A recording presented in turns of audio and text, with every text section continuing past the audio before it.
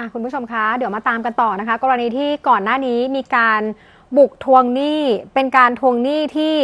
หลักร้อยก็คือเป็นดอกเบี้ยค่ะแต่ว่าถึงขั้นโกรธกันถึงขั้นยิงกันจนเสียชีวิตนะคะ มาตามความคืบหน้าคดีนี้กันค่ะ โดยนายอิทธิพลพินทอง พ่อค้าผลไม้นะคะ ที่จังหวัดชนบุรีเนี่ยเป็นคนนี้แหละค่ะที่เขาเป็นคนถูกยิงนะคะ ล่าสุดเนี่ยตำรวจก็เตรียมสอบเส้นทางการเงินของคนร้าย ว่ามีนายทุนอยู่เบื้องหลังหรือเปล่า แล้วก็เตรียมขยายผลกวาดล้างเป็นวงกว้าง เกี่ยวกับแก๊งเงินกู้ทั้งจังหวัดหลังจากที่มีการแถลงการจับผู้ต้องหาค่ะ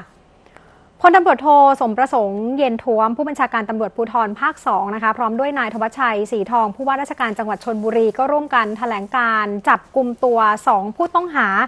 ก็คือนายสมชายอายุ 29 ปี แล้วก็นางสาว รัชดาพรอายุ 29 ปี ข้อหาร่วมกันฆ่าผู้อื่นโดยเจตนา ร่วมกันมีอาวุธปืน เครื่องกระสุนไว้ในครอบครอง โดยไม่ได้รับอนุญาต ร่วมกันพกพาอาวุธปืนไปในเมืองหมู่บ้าน ทางสาธารณะ โดยไม่ได้รับอนุญาต แล้วก็ไม่มีเหตุอันควรค่ะ สองคนเนี่ยก็คือนายสมชายกับนางสาวรัชดาพรก็คือมีการปล่อยเงินกู้ ซึ่งจากการสอบสวนเนี่ยผู้ตายเนี่ยกู้มาหนึ่งหมื่นบาท และมีการตกลงกันว่าจะผ่อนชำระเก็บค่าดอกวันละสองร้อย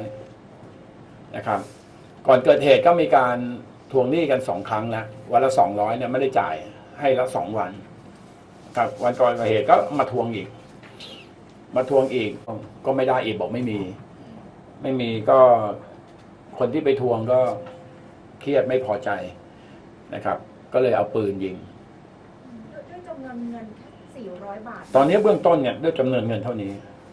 ครับ ซึ่งเราก็ขยายผลในเช็คเรื่องรายละเอียดเนี่ย ของคนปล่อยเงินกู้เนี่ย เราเช็ครายละเอียดปรากฏว่าเงินในบัญชีก็ไม่เยอะ ในขณะหนีเนี่ยก็มีเงินอยู่ในบัญชีแค่หนึ่งพันบาท แล้วก็ไปรูดการ์ดเติมน้ำมันเจ็ดร้อยกว่าบาท ครับเบื้องต้นที่เราดู เราก็ไปตรวจสอบที่บ้านก็ยังไม่พบทรัพย์สินอะไร ส่วนคนที่ยิงคุณอิทธิพลที่เป็นพ่อค้าผลไม้เนี่ยนะคะ คุณผู้ชมก็คือนางสาว รัชดาพร หลังจากที่ไปติดตามทวงหนี้ที่ค้างชำระแล้วไม่ได้ค่ะ นางสาวรัชดาพรเนี่ยก็เลยโทรศัพท์ตามนายสมชายมาให้มาให้มาหาที่เกิดเหตุพอนายสมชายมาถึงก็มีการยื่นปืนให้กับนางสาวรัชดาพร จากนั้นนางสาวรัชดาพรก็ยิงนายอิทธิพลเสียชีวิตทันทีค่ะ ส่วนนายอิทธิพลที่เสียชีวิตนะคะ ก็ไทำลายเขาเป็นแบบนี้คุณผู้ชม เขาไปกู้เงินครั้งแรกเนี่ย5,000 บาท เมื่อเดือนกันยายนที่ผ่านมาก็ส่งดอกเบี้ยไปวันละ 100 บาท ต่อมาหลังจากนั้นอีก 15 วันนายอิทธิพลไปกู้เงินเพิ่มมาอีก 5,000 บาท ทางผู้กู้ก็เลยเก็บดอกเบี้ยเพิ่มเป็นวันละ 200 บาทค่ะ สำหรับอาวุธปืน ตอนนี้ตรวจสอบแล้วนะคะ พบว่าเป็นแบงก์กันที่ซื้อมาจากเพจในโซเชียลมีเดียหลังจากที่มีการตรวจสอบเพจ และเส้นทางการเงินของผู้ก่อเหตุทั้งสองอย่างละเอียดอีกครั้ง ถึงแม้ว่าผู้ต้องหาเนี่ยจะให้การว่าเงินทุนที่เขาเอามาปล่อยกู้เนี่ยเป็นของตนเอง แต่ตอนนี้เจ้าหน้าที่ตำรวจยังไม่ปักใจเชื่อค่ะ แล้วก็เชื่อว่าอาจจะมีนายทุนอยู่เบื้องหลังด้วยว่าน่าเชื่อว่าจะมีผู้อยู่เบื้องหลัง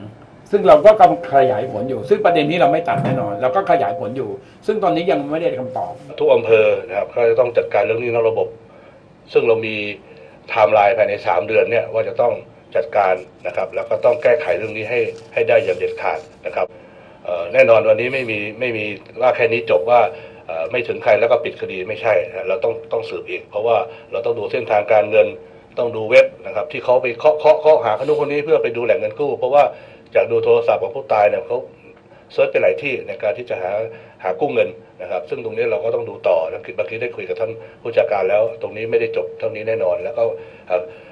ขอเรียนว่าทุกอำเภอแล้วก็จังหวัดนะก็จะดำเนินการเรื่องนี้โดยเอ่อเข้มงวดแล้วก็ติดตามนะครับไม่ให้มันเกิดอย่างนี้อีกนะครับ ส่วนการให้ความช่วยเหลือครอบครัวของผู้เสียชีวิตนะคะ ทางด้านของนายธวัชชัยศรีทองผู้ว่าราชการจังหวัดชนบุรีก็มีการมอบเงินแล้วก็กระเช้า เพื่อเป็นขวัญกำลังใจให้กับภรรยาของผู้เสียชีวิต เพื่อเป็นค่าใช้จ่ายในการทำศพในเบื้องต้นด้วยค่ะ